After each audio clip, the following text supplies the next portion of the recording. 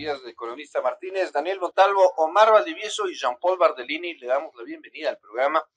Eh, quería arrancar precisamente con un estudio académico que usted había hecho sobre la situación real, económica, en, el campo y en la ruralidad, entre, entre lo rural y lo indígena, como para que hagamos una inmersión, entendamos por qué, por qué están protestando más allá de que si hay o no manipulación de algún dirigente, de algún partido político, hay una brecha de bienestar entre, las, entre el ciudadano de las urbes, desde las ciudades, y el ciudadano y ciudadana de la, de la ruralidad. Buenos días. Buenos días, ¿qué tal? ¿Qué tal con todos? Eh, a ustedes que hacen este programa en Radio Latina, a todos los radioescuchas también. Un saludo muy especial a, a todos que estamos con esta incertidumbre de qué es lo que va a suceder hoy con las, con las movilizaciones. Eh, bueno, eh, respondiendo a su pregunta, sí, efectivamente hay una brecha bastante clara que, que, que se ha incrementado, podríamos decir, los últimos, los últimos años a raíz de las crisis globales y de, también de estas crisis eh, sanitarias, eh, pero tenemos que entender que el sector rural eh, ya viene sufriendo una fuerte recesión más o menos desde el año 2015, ya hay una, ya viene experimentando una recesión por este shock de demanda por reducción del gasto público sobre todo, ¿no?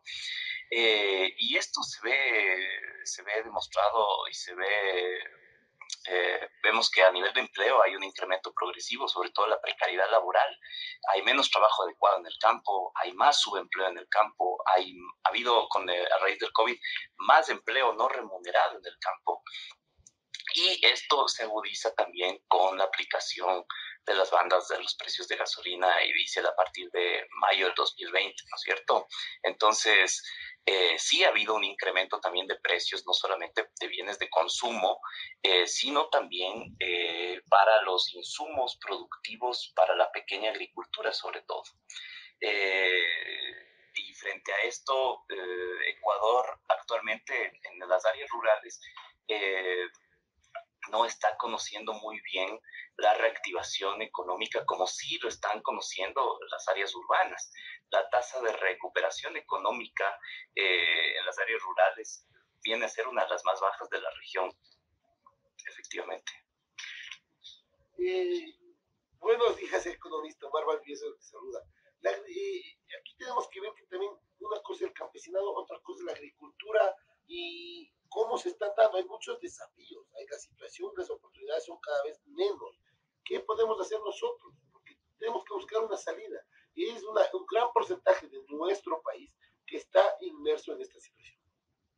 Correcto, e, efectivamente, siempre, siempre existió eh, esa preocupación de qué hacer de los desde los años 90 prácticamente que se está tratando de reducir la pobreza en el medio rural y, y, las políticas eh, no, llegan a ser efectivas. Los programas de cooperación, han habido miles de programas de cooperación internacional para, para solventar los problemas de las ruralidades y, y, realmente no, es como que, como que la plata entra y se va por el mismo hueco, ¿no es cierto? Entonces, a ver, eh, este, yo creo que actualmente, eh, existiendo ya un año de gestión eh, del actual gobierno, eh, no, todavía, todavía no, no, se llegue a encontrar una política clara de apoyo a la ruralidad ecuatoriana. para pensar el futuro del campo no hace falta solamente dar créditos al, sector rural o, dar transferencia tecnológica. Eh, yo creo que posiblemente hay una lectura mal hecha eh, a nivel estructural a nivel estructural me refiero eh, en términos de, corrección de inequidades en el campo, ¿no? Eh, o sea, ahí hay que pensar que, por ejemplo, los tigres asiáticos, ningún tigre asiático eh, salió adelante y, se desarrolló como país sin haber pasado por, un nuevo proceso de, de, reforma agraria. Entonces, aquí cuando hablamos de inequidad, estamos hablando de inequidad sobre todo en términos de acceso a la tierra. Hay que corregir las inequidades en torno al acceso a la tierra, en torno al recurso agua. Eh, tenemos hoy por hoy una agricultura empresarial que controla y que, y que maneja el 83%, llegando casi al 85% de la superficie cultivable de este país y una agricultura familiar y campesina que es mayoritaria y que llega casi a 600 mil unidades productivas agropecuarias, que solamente controla el 15% de la tierra útil de este país. vamos a, decir así, nosotros comemos de, esta gente y comemos efectivamente de esta gente. Esta gente es la que, la que está alimentando al país y que posiblemente no está, no está encontrando, eh, por ejemplo, subsidios focalizados, eh, no está encontrando oportunidades eh, para sus hijos en términos de acceso a estudios. No nos olvidemos que eh, en los gobiernos anteriores se cerraron los institutos técnicos en el medio rural y, actualmente tampoco hay esas oportunidades de acceso a las, a las universidades. Entonces, yo creo que, que, que, hay que rever eso, ¿no es cierto? Por, por un lado. por otro lado, eh, la política crediticia está bien, me parece que es un buen camino este, este fomento a la inversión agropecuaria, pero hay que entender que la inversión agropecuaria no es lo mismo en todos los territorios rurales. Los territorios rurales son distintos, son específicos. Entonces hay que focalizar esta inversión agropecuaria.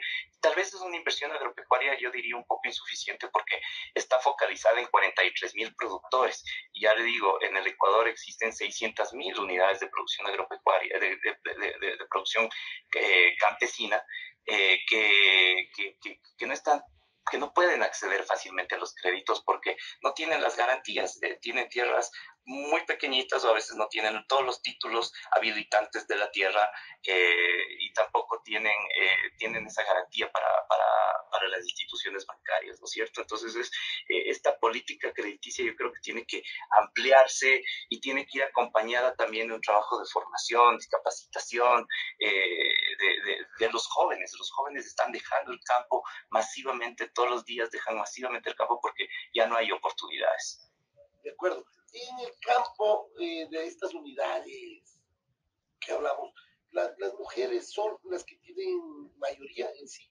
Las mujeres son las que le están dando el comer.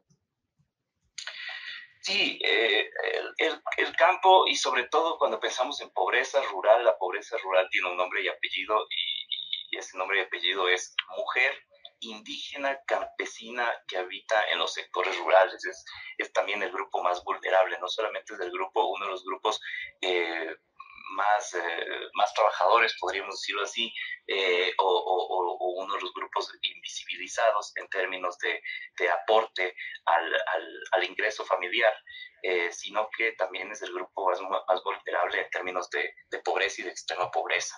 Eh, eso hablando de las mujeres, pero por eso la política pública eh, que va dirigida hacia el sector agrícola, hacia el sector rural, tiene que focalizarse en, en estos dos aspectos, mujeres y jóvenes. Son las 6 de la mañana, 47 minutos. Economista, ¿cómo estás? Paul Bardellini les saluda. Hay un tema que es vital y que no se está mirando, que no se lo está tomando en cuenta con la gravedad que es, y es que la crisis mundial que estamos viviendo está teniendo una repercusión en una inflación en los principales alimentos. Hay un estudio de Naciones Unidas que habla que 14 millones de latinoamericanos, los de los quintiles más bajos, es decir, la gente más pobre, no va a tener acceso a alimentarse simplemente. Es un problema de hambruna. Está, hay que empezar a hablar de soberanía alimentaria, de poder tener una economía autosustentable desde el campo hacia la ciudad, pero también para que tengamos alimento sano, para que tengamos capacidad de alimentarnos, si es que continúa efectos como este, ¿no? O sea, tuvimos una ruptura de la cadena de suministros primero por la pandemia, ahora por una guerra tan lejana que parece que no pasa nada, pero simplemente está afectando a los precios de los alimentos y eso afecta a la economía en las zonas rurales. ¿Estamos viendo eso o el Ecuador está miope a un problema que nos va a afectar gravemente en las próximas semanas? Ver, sí, por un lado es completamente cierto lo que usted dice y posiblemente eh, eh, esa lectura también les está faltando a los movimientos indígenas campesinos que están, que están manifestando. Eh, por un lado es verdad, hay una, hay una crisis global que, está, que se ha visto agravada también con, con lo que usted menciona, con esta guerra entre, entre Rusia y Ucrania y que está afectando a los precios de los insumos, sobre todo los insumos agrícolas, los insumos para la producción y eso evidentemente se ve reflejado en la economía cotidiana de la pequeña agricultura. Por otro lado, lo que ya les comentaba, eh, tal vez hay, hay, ese ejercicio de, ese ejercicio que está faltando de pensar o de cómo pensar el futuro del campo y ahí tal vez eh, una de las soluciones es impulsar la construcción de una estrategia colectiva para el futuro del agroecuatoriano desde un ejercicio prospectivo, desde un ejercicio prospectivo amplio, participativo, desde un ejercicio prospectivo que, que, que, que, nos ayude a llegar a consensos. Entonces, esa, esa, esa política agropecuaria de aquí a 10 años o a 15 años es lo que le está faltando al país. Eh, y, y, eso te tiene que ir encaminado eh, pensando en términos de seguridad y soberanía alimentaria. La seguridad y la soberanía alimentaria, cuando muchas veces cuando mencionamos estos términos, inmediatamente nosotros nos vamos hacia el sector rural, pero en realidad es una articulación urbano-rural. Las políticas urbanas en, en, países como, como el Reino Unido, en países como Francia, en países como Alemania, las políticas, no estoy hablando de políticas rurales, estoy hablando de políticas urbanas, integran sus propios planes de seguridad y soberanía alimentaria, sus articulaciones con los hinterland rurales. Son políticas a futuro. La política urbana de Londres al 2030 es una política que reduce importaciones en términos de consumo de alimentos y, e incrementa la potencialidad que puedan tener las potencialidades agrícolas de los espacios periurbanos e incluso de los espacios urbanos. Entonces, eso es pensar en economías de proximidad, eso es pensar en circuitos cortos, eso es pensar en alimentación sana también, eso es pensar en reducir emisiones de CO2 por importaciones, eso es pensar integralmente, intersectorialmente en una política sustentable a mediano y a largo plazo, eso es pensar de manera prospectiva, evidentemente. Eso es lo que hace falta, porque y nosotros, bronqueándonos entre nosotros, sí, hay una crisis política, pero dividir la ciudad y el campo nos genera problemas en este momento. Para continuar con la, con la entrevista, quiero darles una noticia. En este momento se está intentando eh, manifestantes están intentando bloquear acceso y salida del mercado mayorista en el sur de Quito. Alerta a la gente que está yendo por esa zona. Se están dando desmanes en este momento, es información verificada, así que tengan cuidado ¿no? en el sector del mercado mayorista. Esto es algo de lo que se tiene que hablar ya para, para terminar la entrevista economista si tenemos que generar una economía pequeña, como usted decía, ¿no es cierto? El circuito corto, el comprarle a la persona de la tienda y qué mejor si es que además en mi edificio alguien está produciendo verdura. Esto va a acercarte al campo. Es necesario generar una economía circular que nos permita hermanarnos y vernos con empatía. Esa es una, sería una buena forma de salir de esta crisis, ¿no? Evidentemente, y fíjense las, todas las externalidades positivas que, existieron en los espacios rurales cercanos al Distrito Metropolitano de Quito en plena crisis del COVID, ¿no? Eh, son espacios rurales que empezaron a, a, reactivarse a partir de estas economías de proximidad. Eh, son espacios rurales, o las, las parroquias rurales que, que prácticamente no, no, no, tenían oportunidad, no tenían un horizonte retrasado, empezaron a reactivarse a partir de, estas, de, esta, de estos circuitos cortos de comercialización.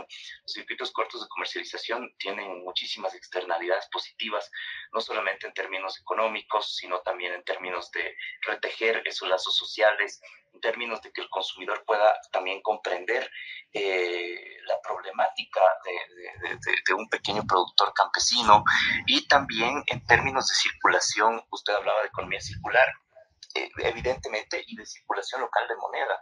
Hacemos que eh, el, el, dinero circule aquí mismo y eso es beneficioso para, para ambas partes. Eh, los circuitos cortos de los circuitos cortos de comercialización también nos, nos, permiten tener una garantía eh, en relación al, producto que estamos consumiendo. Nosotros vamos a, a, poder conocer dentro de esa cadena corta si es que posiblemente va a existir este producto la próxima temporada, no va a existir este producto la siguiente temporada, si tiene algún químico que tengamos que saber que o cómo, cómo procesar bien el producto en nuestros, en nuestros, nuestros hogares. Entonces hay muchísimos beneficios de, de, de, esta política y eso también tiene que estar integrado dentro de esta discusión, dentro de esta mesa de diálogo, repotenciar esas formas de consumir, repotenciar esas economías locales, esas economías de proximidad. Eso no funciona en, eh, desde lo macro, si es que se lo conversa desde lo macro o, no funciona por el, por el, fomento o el decreto de un ministro, como por ejemplo el ministro del Ministerio de Agricultura. Eso funciona si es que nosotros tenemos niveles eh, aceptables y niveles maduros de descentralización en el país. Eso va a funcionar porque, porque la gente se empodera de ese discurso, porque la gente se empodera de esas prácticas y eh, está también con sus, con sus autoridades locales. Entonces eso funciona mucho en una escala localmente gestionable y ese es el futuro. Así que tenemos que empezar a hablar de este tema. Eh, ha sido el economista Diego Martínez quien ha estado con nosotros hablando precisamente de cuál es la situación de lo rural, para entender lo rural y por fin empezar a tirar cables, construir nuevos puentes hacia la ruralidad, hacia el campesino, hacia el indígena, hacia el empresario, hacia aquel otro ecuatoriano que vive un poquito más lejos, más allá del patio de tu casa. Así que muchas gracias al economista Martínez por estar con nosotros.